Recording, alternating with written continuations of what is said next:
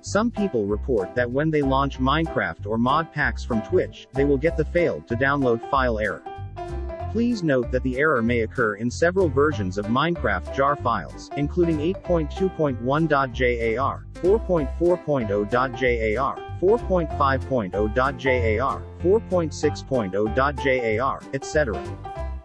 The most effective solution to error, failed to download file, the file contents differ from what was expected, is replacing the jar file.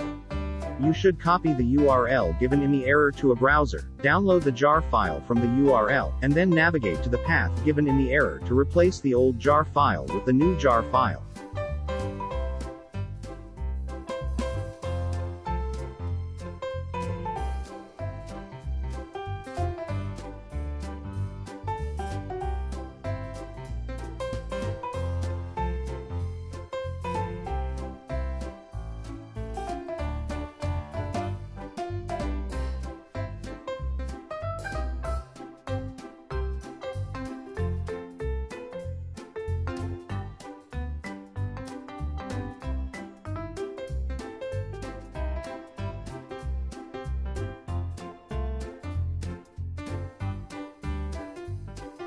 Open File Explorer, select View tab, check Hidden Items for Show Hidden Folder.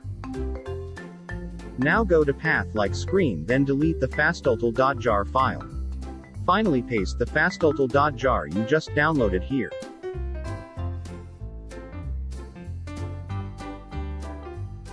If this method doesn't works, you can try pasting the downloaded jar file to the following location.